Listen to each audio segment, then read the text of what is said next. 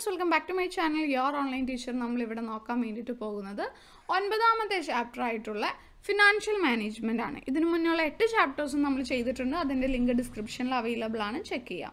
So finance business finance എന്ന് പറഞ്ഞിട്ടുണ്ടെന്നുണ്ടെങ്കിൽ money required for carrying out business activity business activities നടത്താൻ വേണ്ടിയിട്ടുള്ള പൈസേനെയാണ് എന്ത്? Business finance എന്ന് പറയുന്നത്. സോ ഫിനാൻഷ്യൽ മാനേജ്മെന്റ് എന്ന് പറഞ്ഞിട്ടുണ്ടെന്നുണ്ടെങ്കിൽ ഈ ബിസിനസ് നടത്തുന്നതിന് വേണ്ടിയിട്ടുള്ള ഫിനാൻസിന്റെ പ്രൊക്യോമെന്റ് പ്രൊക്യോമെന്റ് എന്ന് വെച്ചാൽ എന്താണ്? കളക്ഷൻ നമ്മളത് കണ്ടുപിടിക്കുക. അതുപോലെ തന്നെ അത് കൃത്യമായിട്ട് യൂസ് ചെയ്യുക എന്നുള്ളതാണ്. അതാണ് ഫിനാൻഷ്യൽ മാനേജ്മെന്റ് എന്ന് പറയുന്നത്.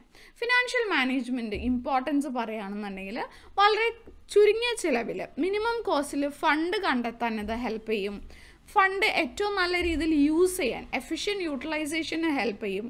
അതുപോലെ തന്നെ നമ്മുടെ ഫേമിന്റെ എക്സ്പാൻഷനും മോഡേണൈസേഷനും ഒക്കെ ആവശ്യമായിട്ടുള്ള പ്രോഫിറ്റ് ഉണ്ടാക്കാൻ ഇത് ഹെൽപ്പ് ചെയ്യും. ഓർഗനൈസേഷന്റെ സ്റ്റേബിൾ ഗ്രോത്തിനും അതുപോലെ തന്നെ ഇത് എൻഷുർ സേഫ്റ്റി ഓഫ് ഫണ്ട് കൃത്യമായിട്ടുള്ള റിസർവും റീഇൻവെസ്റ്റ്മെന്റും എല്ലാം ചെയ്യുന്നതിലൂടെ നമ്മുടെ ഫണ്ടിന്റെ സേഫ്റ്റിയും ഇത് ഉറപ്പ് വരുത്തും ഇതാണ് financial management ഇമ്പോർട്ടൻസും so objectives of financial management പറയുകയാണെന്നുണ്ടെങ്കിൽ മെയിനായിട്ട് രണ്ട് ഒബ്ജക്റ്റീവ്സ് ആണുള്ളത്. ഒന്ന് എന്താണ്? ഈ ഒരു ഷെയർ ഹോൾഡേഴ്സിന്റെ വെൽത്ത് മാക്സിമൈസ് ചെയ്യുക എന്നുള്ളതും രണ്ട് പ്രോഫിറ്റ് മാക്സിമൈസ് ചെയ്യുക എന്നുള്ളതുമാണ്. അപ്പോൾ അതുകൊണ്ട് തന്നെ ഈ ഒരു ഒബ്ജക്റ്റീവ്സ് ഓഫ് മാനേജ്മെന്റിൽ രണ്ട് കാര്യങ്ങളാണ് വരുന്നത്. പ്രോഫിറ്റ് മാക്സിമൈസേഷനും വെൽത്ത് മാക്സിമൈസേഷനും പ്രോഫിറ്റ് മാക്സിമൈസേഷൻ എന്ന് പറഞ്ഞാൽ എന്താണ്? ആ ഒരു ബിസിനസ്സിന്റെ പ്രോഫിറ്റ് എല്ലാ ബിസിനസ്സിന്റെയും ഏറ്റവും മെയിനായിട്ടുള്ള ഒബ്ജക്റ്റീവ് അത് തന്നെയായിരിക്കും. പ്രോഫിറ്റ് മാക്സിമൈസ് ചെയ്യുക എന്നുള്ളതായിരിക്കും.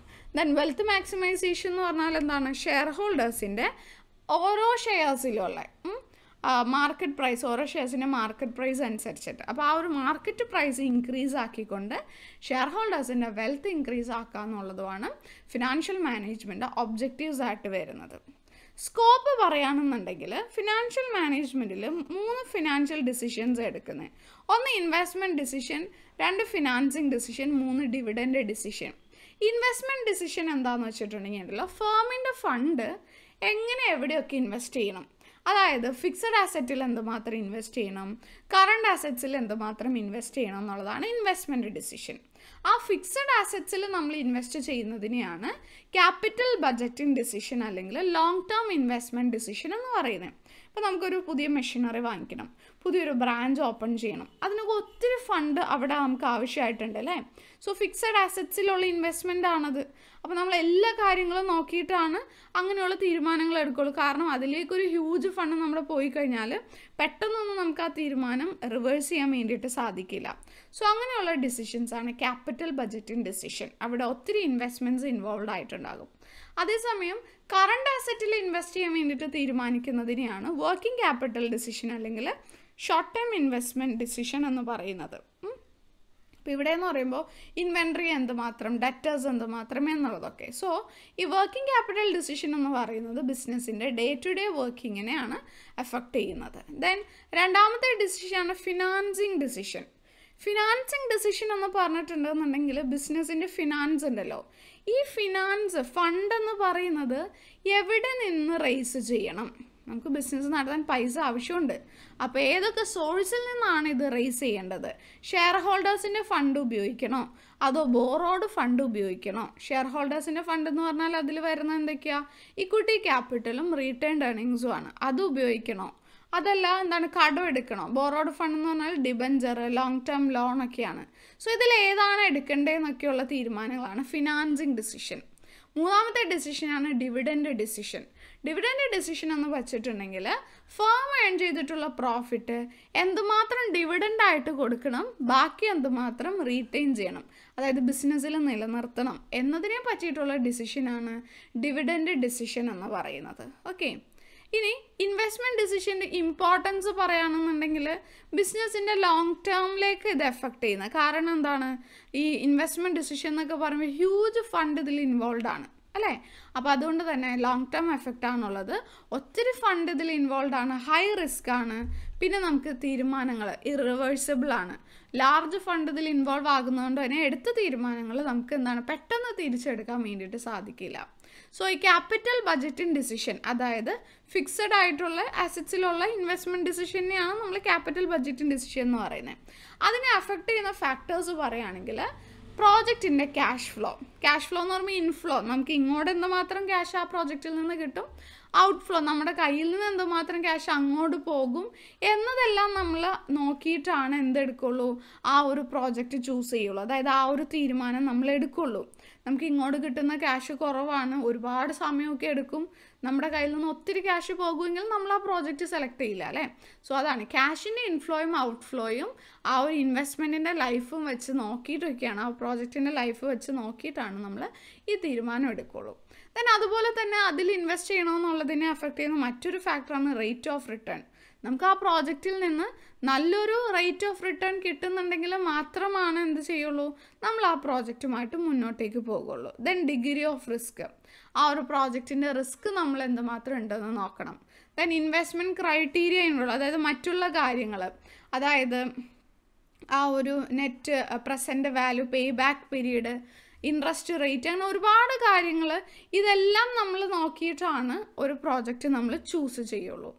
ഇനി ഫിനാൻസിങ് ഡിസിഷനെ എഫക്റ്റ് ചെയ്യുന്ന ഫാക്ടേഴ്സ് പറയുകയാണെന്നുണ്ടെങ്കിൽ കോസ്റ്റ് ഓഫ് ക്യാപിറ്റൽ അതായത് നമ്മൾ ഫണ്ട് റേസ് ചെയ്യുന്നുണ്ട്. ഇപ്പോൾ നമുക്ക് ലോണൊക്കെ എടുക്കണമെന്നുണ്ടെങ്കിൽ ലോൺ എടുക്കുമ്പോൾ എന്ത് ചെയ്യണം? ആ ലോണിൽ നമ്മൾ ഇൻട്രസ്റ്റ് അടയ്ക്കണം. അതാണ് അതിന്റെ കോസ്റ്റ് ഓഫ് ക്യാപിറ്റൽ അപ്പോൾ അത് നമ്മളെ കൊണ്ട് സാധിക്കുമോ എന്നുള്ളതൊക്കെ നോക്കും.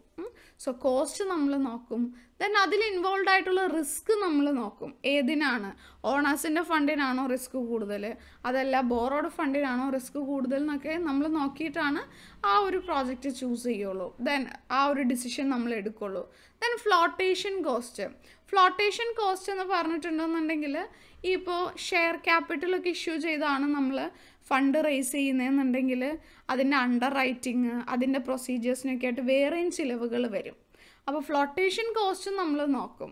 അപ്പോൾ ഫ്ലോട്ടേഷൻ കോസ്റ്റ് കുറവുള്ളത് ഡെറ്റിന് അതായത് നമ്മൾ കടം എടുക്കുന്ന ലോണൊക്കെ എടുക്കും. ലോൺ ഡിബഞ്ചർ ഇതിനൊക്കെ ഫ്ലോട്ടേഷൻ കോസ്റ്റ് കുറവാണ് പക്ഷേ ഓണേഴ്സ് ഫണ്ടിന് ഫ്ലോട്ടേഷൻ കോസ്റ്റ് കൂടുതലാണ് അപ്പോൾ അതൊക്കെ നമ്മൾ കമ്പയർ ചെയ്ത് നോക്കിയിട്ടാണ് ഫിനാൻസിങ് ഡിസിഷൻ എടുക്കുകയുള്ളൂ പിന്നെ അതുപോലെ തന്നെ കമ്പനിയുടെ ക്യാഷ് ഫ്ലോ പൊസിഷൻ നല്ല സ്ട്രോങ് ആയിട്ടുള്ള ക്യാഷ് ഫ്ലോ പൊസിഷൻ ആണെന്നുണ്ടെങ്കിൽ നമുക്ക് കടം ധൈര്യമായിട്ട് എടുക്കാം. കാരണം എന്താ?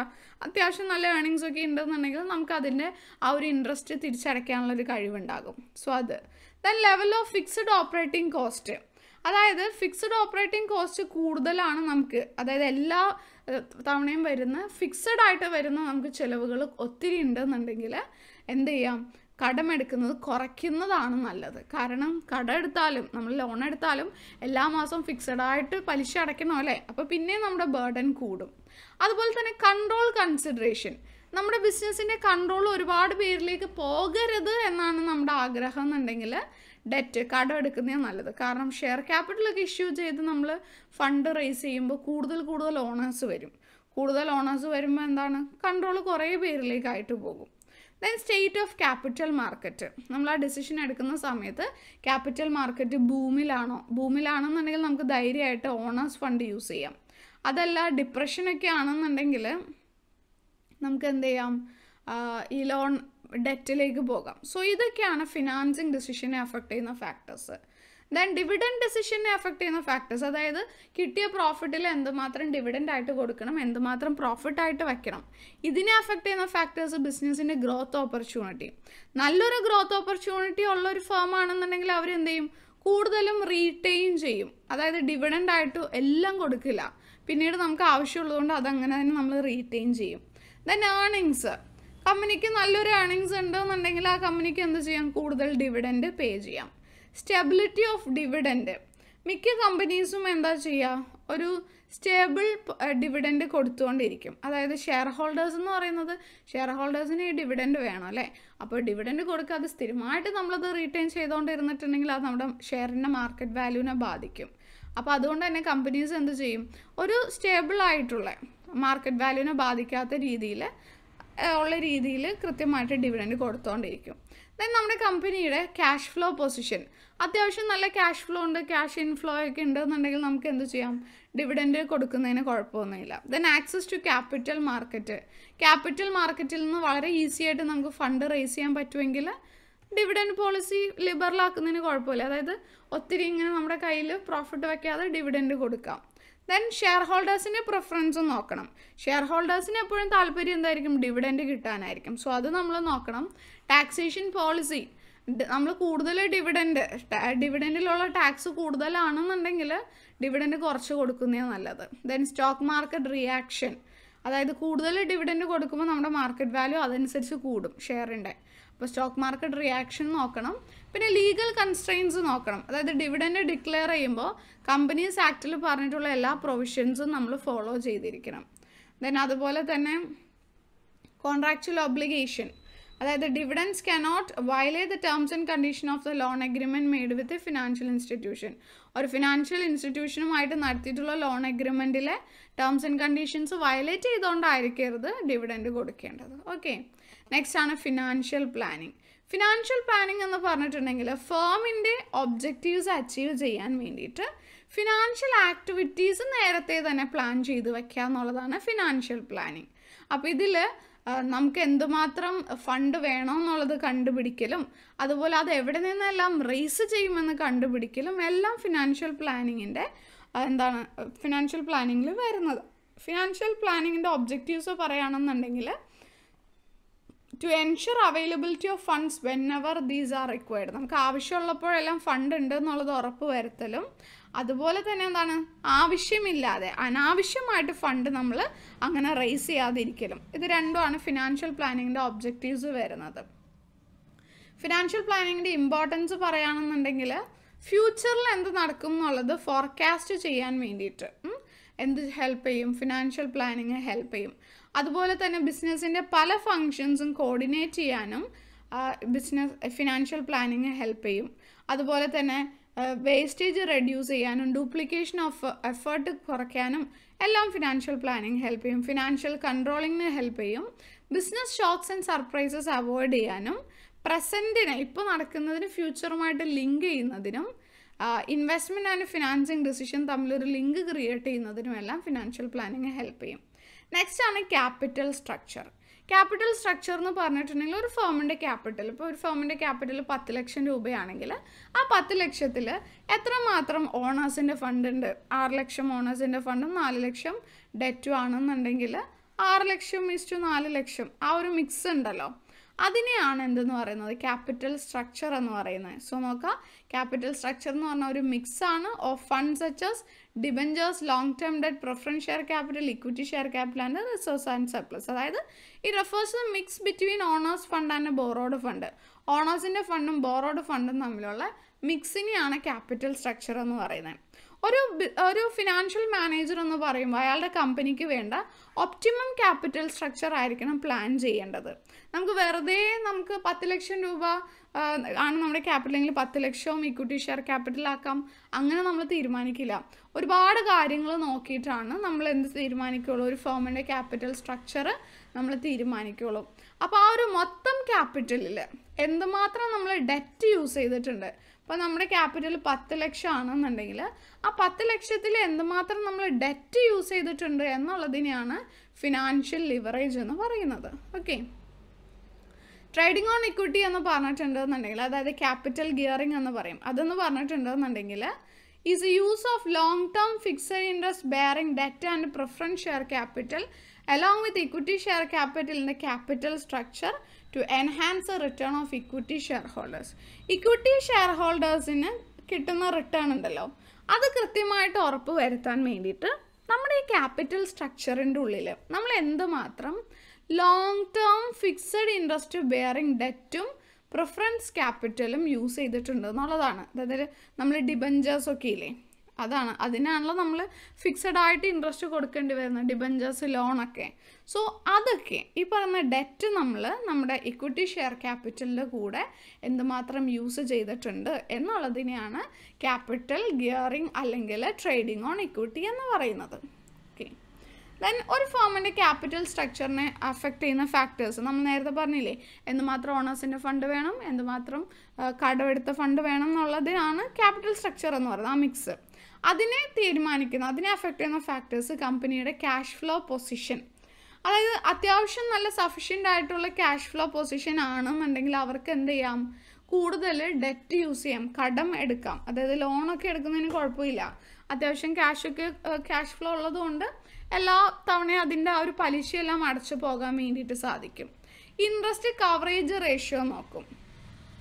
Interest coverage ratio I C R I C R എന്ന് പറഞ്ഞിട്ടുണ്ടെന്നുണ്ടെങ്കിൽ number of times earnings of a company covers interest of interest obligation EBIT എന്ന് പറഞ്ഞാൽ earnings before interest and tax ഇൻട്രസ്റ്റും ടാക്സും ഒക്കെ കൊടുക്കുന്നതിന് മുന്നേ ഉള്ള ഏർണിങ്സ് അത് എന്തുമാത്രം തവണ എത്ര തവണ നമ്മുടെ ഇൻട്രസ്റ്റ് കൊടുക്കാനുള്ള ആ ഒരു ബാധ്യതയെ കവർ ചെയ്യാൻ മാത്രമുള്ള നമുക്ക് നമുക്കുണ്ട് എന്നുള്ളതാണ്. ഹയർ ആണെന്നുണ്ടെങ്കിൽ ഐ സി ആർ ഹയർ ആണെന്നുണ്ടെങ്കിൽ നമുക്ക് അത്രയും റിസ്ക് കുറവായിരിക്കും. ദെൻ അതുപോലെ തന്നെ ഫേമിന്റെ ഡെറ്റ് സർവീസ് കവറേജ് റേഷ്യോ നോക്കും. അതായത് debt service coverage ratio higher ആണെന്നുണ്ടെങ്കിൽ അതിന്റെ അർത്ഥം നമ്മുടെ കയ്യിൽ നല്ല രീതിയിൽ ക്യാഷ് എല്ലാം പേ ചെയ്യാനുള്ള ഒരു എബിലിറ്റി ഉണ്ട് എന്നുള്ളതാണ്. അതായത് കടം എടുത്താലും ലോണൊക്കെ എടുത്താലും നമുക്ക് ആ ലോണിന്റെ എല്ലാം ഇൻട്രസ്റ്റ് അടച്ചു വീട്ടാൻ സാധിക്കും എന്നുള്ളതാണ് ഹയർ ഡി എസ് സി ആറിന്റെ അർത്ഥം. ദെൻ റിട്ടേൺ ഓൺ ഇൻവെസ്റ്റ്മെന്റ് നോക്കും. ഒരു കമ്പനിയുടെ റിട്ടേൺ ഓൺ ഇൻവെസ്റ്റ്മെന്റ് ഹൈ ആണെന്നുണ്ടെങ്കിൽ അവർക്ക് എന്ത് ചെയ്യാം? ട്രേഡിംഗ് ഓൺ ഇക്വിറ്റി ചൂസ് ചെയ്യാം. അപ്പോൾ അത് അവരുടെ E P S earnings per share increase ആക്കും. അതായത് നമുക്ക് ഡെറ്റ് അവിടെ കൂടുതൽ യൂസ് ചെയ്യാം. റിട്ടേൺ ഓൺ ഇൻവെസ്റ്റ്മെന്റ് കൂടുതലാണെന്നുണ്ടെങ്കിൽ. ദെൻ കോസ്റ്റ് ഓഫ് ഡെറ്റ് ആ ഒരു ഡെറ്റ് എടുക്കുമ്പോൾ ഇപ്പോൾ ലോണൊക്കെ എടുക്കുന്നെങ്കിൽ അതിന്റെ ആ ഒരു പലിശ ഉണ്ടല്ലോ ഇൻട്രസ്റ്റ് ഡിബഞ്ചറിലാണെന്നുണ്ടെങ്കിൽ ഇൻട്രസ്റ്റ് ഉണ്ട്. അതാണ് അതിന്റെ കോസ്റ്റ് എന്ന് പറയുന്നത്. അത് കുറവാണെങ്കിൽ നമുക്ക് എന്ത് ചെയ്യാം? ലോൺ എടുക്കുന്നില്ലേ കുറച്ചുകൂടി നല്ലത്. So if it is low company can employ more debt then tax rate tax കൂടുതലാണെന്നുണ്ടെങ്കിൽ നമുക്ക് ലോൺ എടുക്കുന്നത് നല്ലത്. കാരണം ലോൺ എമൗണ്ടിൽ നമുക്ക് അങ്ങനെ ടാക്സ് ഇല്ല. ദെൻ കോസ്റ്റ് ഓഫ് ഇക്വിറ്റി ഈ പറയുന്ന ഓണേഴ്സ് ഫണ്ടിന്റെ ഷെയർ ക്യാപിറ്റലിലൊക്കെ കോസ്റ്റ് കൂടുതലാണെന്നുണ്ടെങ്കിൽ അത് നമ്മൾ നോക്കും. അതാണോ കൂടുതൽ ഡെറ്റിന്റെ ആണോ കോസ്റ്റ് കൂടുതൽ നമ്മൾ നോക്കും. ദെൻ ഫ്ലോട്ടേഷൻ കോസ്റ്റ് നമ്മൾ പറഞ്ഞല്ലോ നേരത്തെ. അതായത് ഈ പറയുന്ന ഷെയർസും ഡിബഞ്ചേഴ്സിലൊക്കെ ഇഷ്യൂ ചെയ്യാൻ നേരത്ത് വരുന്ന ചിലവാണ് അണ്ടർ റൈറ്റിംഗ് കമ്മീഷനൊക്കെ പോലെ. അത് കൂടുതലാണെന്നുണ്ടെങ്കിൽ നമുക്ക് ഡെറ്റ് എടുക്കുന്നതാണ് നല്ലത്. ഡെറ്റിന് അങ്ങനെ ഫ്ലോട്ടേഷൻ കോസ്റ്റ് ഇല്ല. ദെൻ റിസ്ക് നമ്മൾ നോക്കണം. അതായത് ഒത്തിരി ഡെറ്റ് ഒത്തിരി നമ്മൾ കടം എടുത്തിട്ടുണ്ടെങ്കിൽ അത് ബിസിനസ്സിന്റെ ഫിനാൻഷ്യൽ റിസ്കിനെ കൂട്ടും. അപ്പോൾ അത് നമ്മൾ നോക്കണം. ഫ്ലെക്സിബിലിറ്റി അതായത് നമ്മൾ ചൂസ് ചെയ്യുന്ന ക്യാപിറ്റൽ സ്ട്രക്ചർ എന്ന് പറയുന്നത് പിന്നീടാണെങ്കിലും നമുക്കതിൽ മാറ്റങ്ങൾ കൊണ്ടുവരാൻ പറ്റുന്ന രീതിയിൽ ഫ്ലെക്സിബിൾ ആയിരിക്കണം. ദെൻ കൺട്രോൾ ബിസിനസ്സിന്റെ കൺട്രോൾ ഒത്തിരി പേരിലേക്ക് പോകരുത് എന്നാണ് ആഗ്രഹം എന്നുണ്ടെങ്കിൽ അവർ ഡെറ്റ് എടുക്കുന്നതാണ് നല്ലത്. ഓക്കെ കാരണം കൂടുതൽ ഷെയർ ഹോൾഡേഴ്സ് വരുമ്പോൾ കൺട്രോൾ ഒത്തിരി പേരിലേക്ക് പോകുമല്ലോ ദെൻ റെഗുലേറ്ററി ഫ്രെയിം വർക്ക് അതായത് സെബിയുടെ ഗൈഡ് ലൈൻസ് ആർ ബി ഐയുടെ ഗൈഡ് ലൈൻസ് എല്ലാം ഫോളോ ചെയ്തിരിക്കണം. ദെൻ സ്റ്റോക്ക് മാർക്കറ്റ് കണ്ടീഷനും നോക്കണം നമ്മൾ നേരത്തെ പറഞ്ഞതുപോലെ. ബൂമിങ് സിറ്റുവേഷൻ ഒക്കെ ആണെന്നുണ്ടെങ്കിൽ അവർക്ക് എന്ത് ചെയ്യാം? ബൂമിങ് ആണെന്നുണ്ടെങ്കിൽ ഷെയർസ് ഇഷ്യൂ ചെയ്യാം. അതല്ല ഡിപ്രഷൻ ടൈമൊക്കെ ആണെന്നുണ്ടെങ്കിൽ ഡെറ്റ് യൂസ് ചെയ്യണതാണ് കൂടുതൽ യൂസ് ചെയ്യുന്നത് നല്ലത്. പിന്നെ നമ്മുടെ അതേ ലെവലിൽ നിൽക്കുന്ന മറ്റ് കമ്പനീസിന്റെ ക്യാപിറ്റൽ സ്ട്രക്ചർ എങ്ങനെയാണ്? എന്നുകൂടി നോക്കിയിട്ട് വേണം നമ്മൾ നമ്മുടെ ഫേമിന്റെ ക്യാപിറ്റൽ സ്ട്രക്ചർ തീരുമാനിക്കാൻ. നെക്സ്റ്റ് ആണ് ഫിക്സഡ് ക്യാപിറ്റൽ ഫിക്സഡ് ക്യാപിറ്റൽ എന്ന് പറഞ്ഞിട്ടുണ്ടെങ്കിൽ ലോങ് ടേം ആസെറ്റിൽ ഫിക്സഡ് ആസെറ്റ്സിൽ നമ്മൾ ഇൻവെസ്റ്റ് ചെയ്യുന്നതിനെയാണ് ഫിക്സഡ് ക്യാപിറ്റൽ എന്ന് പറയുന്നത്.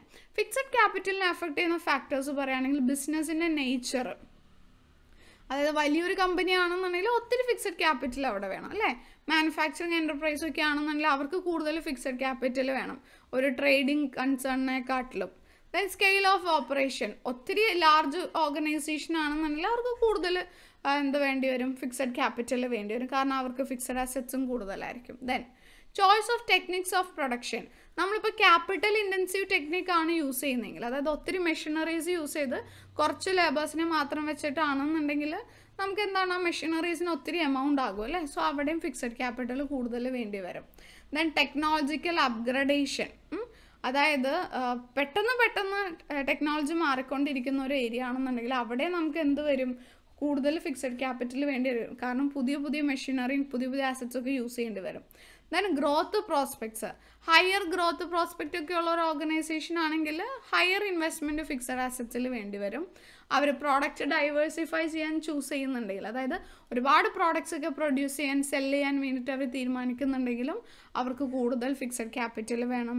ദെൻ ഫിനാൻസിങ് ഓൾട്ടർനേറ്റീവ്സ് അതും അഫക്റ്റ് ചെയ്യും. അതായത് companies acquiring fixed assets on hire purchase or lease system requires lesser amount അതായത് ഇപ്പോൾ നമ്മൾ അസറ്റ് വാങ്ങിക്കുന്നില്ല പകരം അത് ലീസിനൊക്കെ എടുക്കുകയാണെന്നുണ്ടെങ്കിൽ നമുക്ക് കുറച്ച് ഫിക്സഡ് ക്യാപിറ്റൽ മതിയാകും.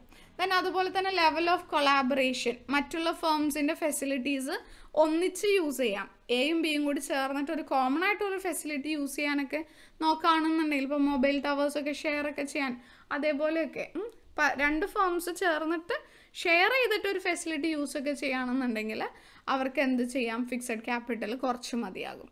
Then working capital working capital എന്ന് പറഞ്ഞിട്ടുണ്ടെങ്കിൽ ഫേമിന്റെ ഷോർട്ട് ടേം ആസറ്റ്സിൽ ഇൻവെസ്റ്റ് ചെയ്യുന്നതിനെയാണ് അതായത് കറണ്ട് ആസറ്റ്സിൽ ഇൻവെസ്റ്റ് ചെയ്യുന്നതിനെയാണ് വർക്കിംഗ് ക്യാപിറ്റൽ എന്ന് പറയുന്നത്. വർക്കിംഗ് ക്യാപിറ്റൽ എന്ന് പറഞ്ഞിട്ടുണ്ടെങ്കിൽ current asset minus current liabilities ആണ്. വർക്കിംഗ് ക്യാപിറ്റൽ റിക്വയർമെന്റിനെ അഫക്റ്റ് ചെയ്യുന്ന ഫാക്ടേഴ്സ് പറയുകയാണെങ്കിൽ ബിസിനസ്സിന്റെ നേച്ചർ അതായത് ഒത്തിരി സ്റ്റോക്കൊന്നും അങ്ങനെ സൂക്ഷിക്കാത്ത ഒരു ബിസിനസ് യൂണിറ്റ് ആണെന്നുണ്ടെങ്കിൽ അവർക്ക് കുറച്ച് വർക്കിംഗ് ക്യാപിറ്റൽ മതി. പക്ഷേ എപ്പോഴും ഹൈ സ്റ്റോക്കൊക്കെ ഇങ്ങനെ മെയിന്റെയിൻ ചെയ്യുന്നവരാണെന്നുണ്ടെങ്കിൽ അപ്പോൾ അതിനും കൂടുതൽ എന്ത് വേണം? വർക്കിംഗ് ക്യാപിറ്റൽ ആവശ്യമായിട്ട് വരും. Scale of operation large concern ആണെങ്കിൽ കൂടുതൽ വർക്കിംഗ് ക്യാപിറ്റൽ വേണ്ടി വരും.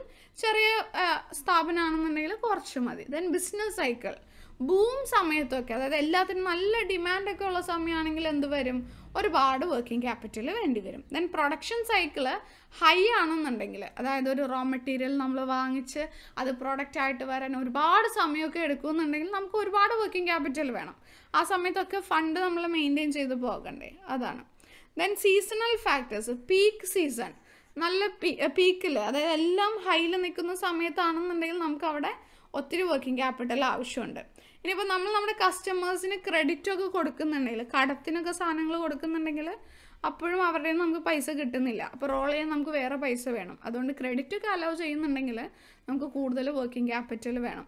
നമുക്ക് ക്രെഡിറ്റ് കിട്ടുന്നുണ്ടെങ്കിൽ നമ്മുടെ സപ്ലയറുടെ അടുത്ത് നിന്നൊക്കെ നമുക്ക് ക്രെഡിറ്റ് കിട്ടുന്നുണ്ടെങ്കിൽ നമുക്ക് കുറച്ച് വർക്കിംഗ് ക്യാപിറ്റൽ മതി.